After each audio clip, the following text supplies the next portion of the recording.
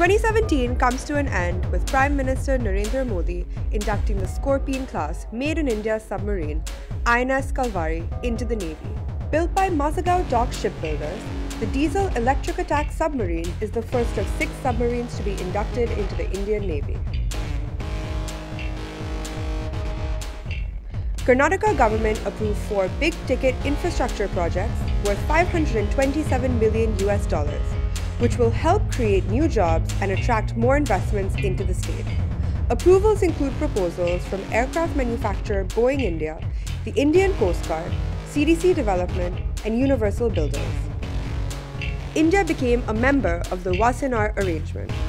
Entry to the coveted club, which controls the global trade of conventional weapons and dual use goods and technologies, will help facilitate high tech tie ups with the Indian industry. God's own country, Kerala, inaugurated India's largest floating solar plant. The project commenced in March 2016, is built on 6,000 square meters of water surface of the reservoir with an approximate cost of 1.4 million US dollars. For the first time ever, Kudankulam nuclear power plant reached its full generation capacity.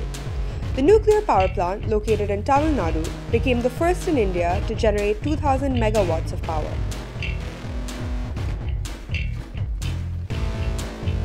Make in India heads to the World Economic Forum in Davos from 23rd to 26th January 2018.